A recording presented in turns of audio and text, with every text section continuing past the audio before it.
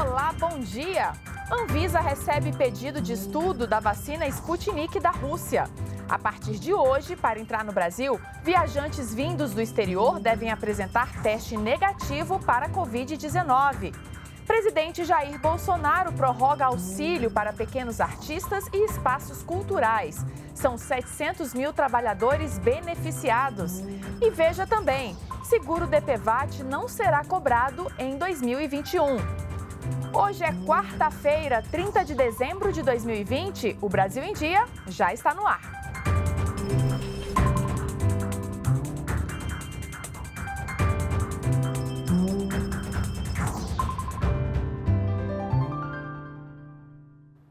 São 8 horas da manhã e nós estamos ao vivo também pelas redes sociais.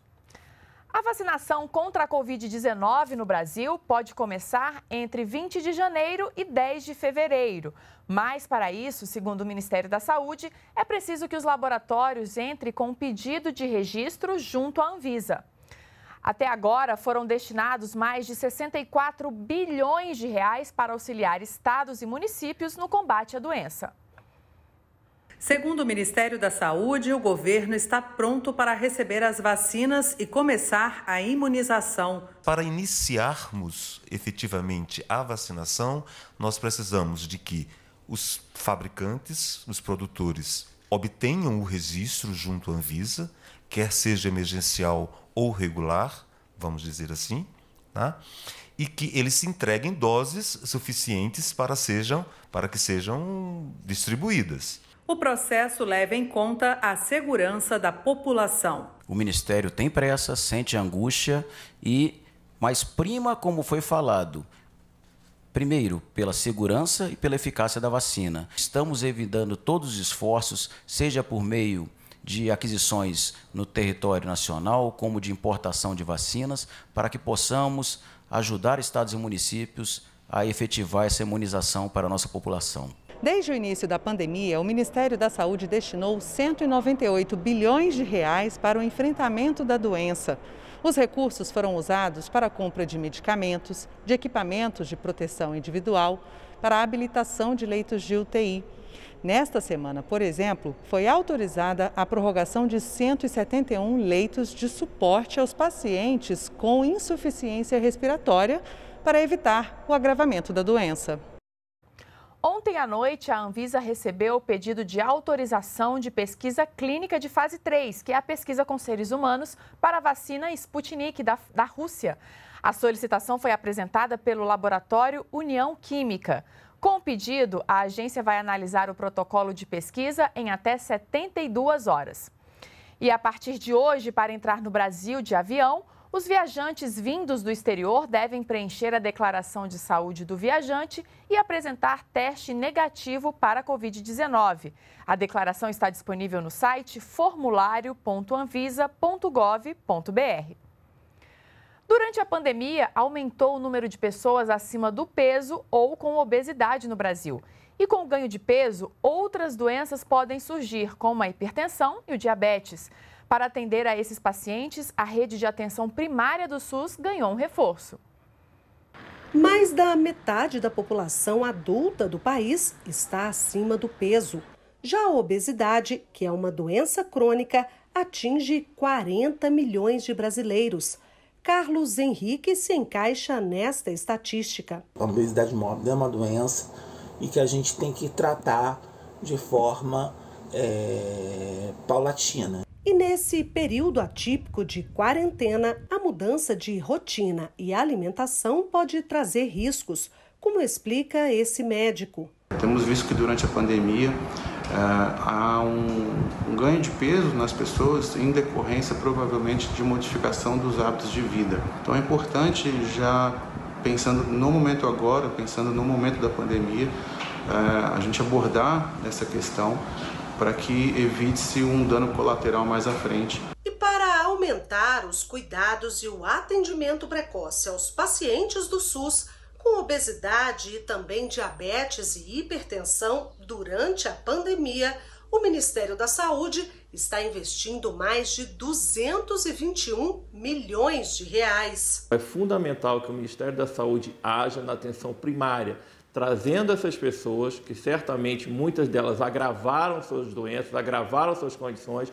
No total, 5.505 municípios receberão o dinheiro. A ideia é que a utilização desse recurso seja para aumentar a adesão ao tratamento das pessoas com doenças crônicas, considerando a realidade local, a estratificação de risco, a vulnerabilidade social e a logística do território. E para manter a saúde e o peso adequados, vale aquela receita dos especialistas uma boa alimentação aliada a exercícios físicos. Os exercícios físicos aeróbios são os mais recomendados, como andar de bicicleta, fazer uma caminhada. Em 2021, os motoristas não vão precisar pagar o DPVAT, seguro obrigatório usado para indenização de vítimas de acidente de trânsito. A decisão é do Conselho Nacional de Seguros Privados, que aprovou a medida porque o sistema tem recursos em caixa suficientes para garantir o funcionamento no próximo ano ajuda garantida aos trabalhadores da cultura no ano que vem. O presidente Jair Bolsonaro editou medida provisória prorrogando o prazo de utilização do auxílio emergencial da Lei Aldir Blanc. Vamos ao Rio de Janeiro. Tiago Pimenta explica para gente.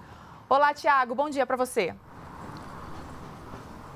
Oi, Manu, bom dia, bom dia para você, bom dia a todos. A prorrogação representa mais segurança para os trabalhadores da cultura e é também uma garantia de continuidade para as ações emergenciais. Agora, a execução dos recursos da Lei Aldir Blanc passou para o ano que vem. Isso não vai aumentar os gastos públicos, já que 65% dos estados e municípios ainda não começaram a liquidar os recursos recebidos e empenhados.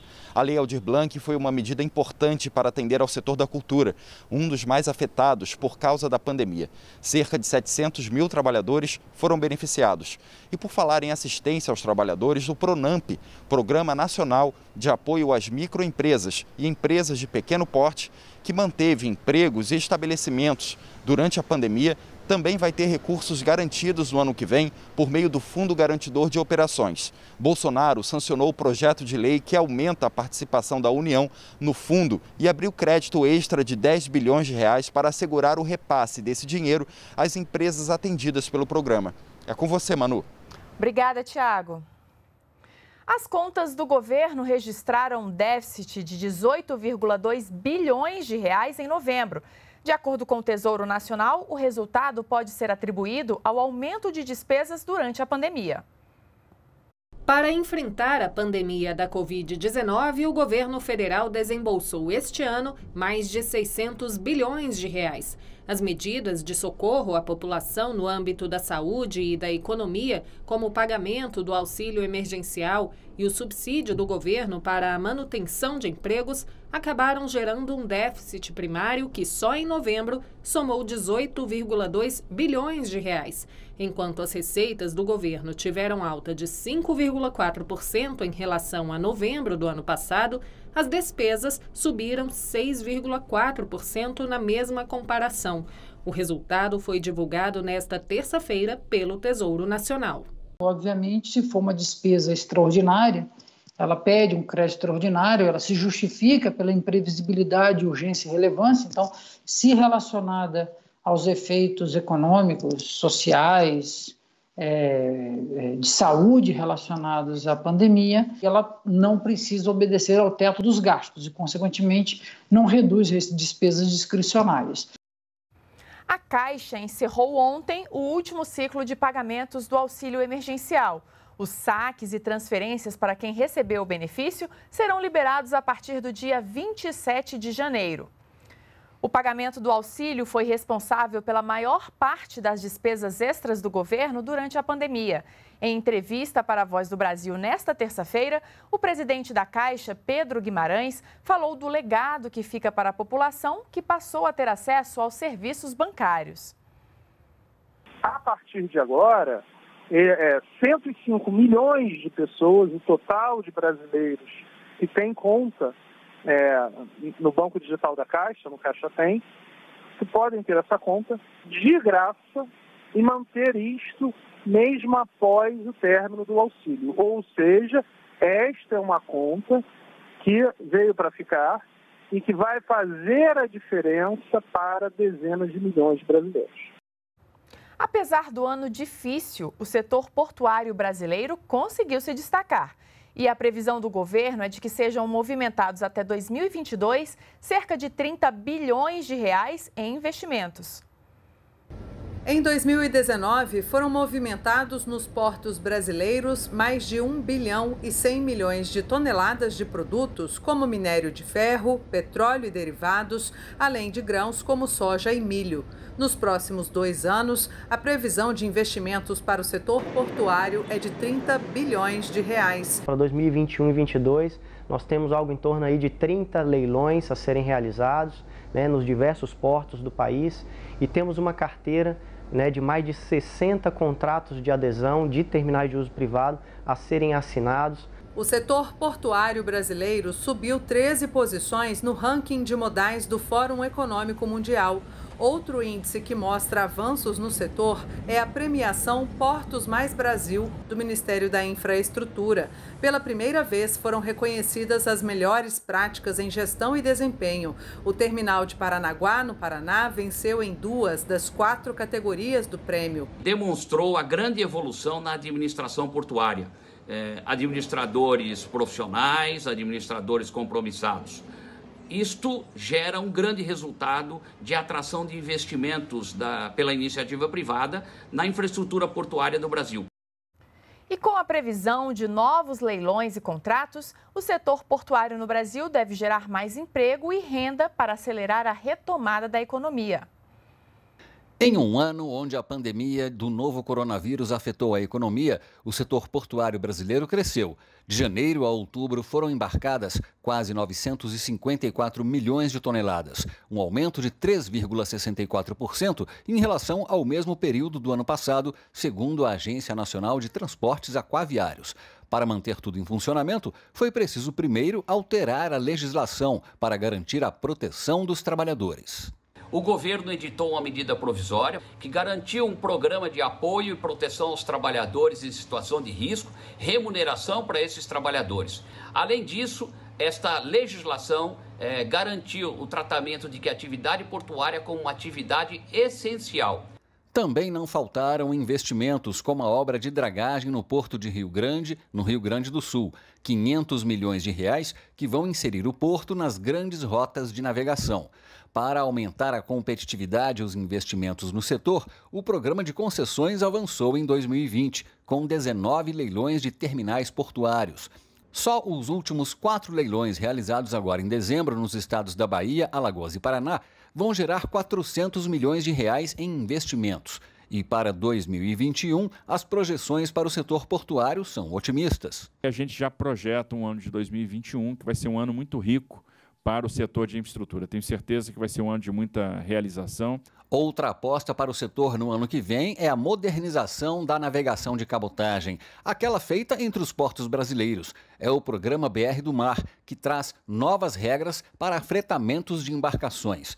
O objetivo do governo é aumentar a concorrência nessa modalidade de transporte, reduzir custos e gerar empregos. A estimativa é ampliar em 40% a frota marítima de cabotagem nos próximos três anos. Aprovado pela Câmara, o projeto agora segue para o Senado. Se a gente tiver uma matriz de transportes mais equilibrada, no final das contas a gente aumenta a sinergia, aumenta a eficiência, reduz o custo e passa a ter mais pernas de transporte. O Brasil em Dia fica por aqui. Nos acompanhe também pelas nossas redes sociais. Uma ótima quarta-feira para você e nos vemos amanhã. Até lá!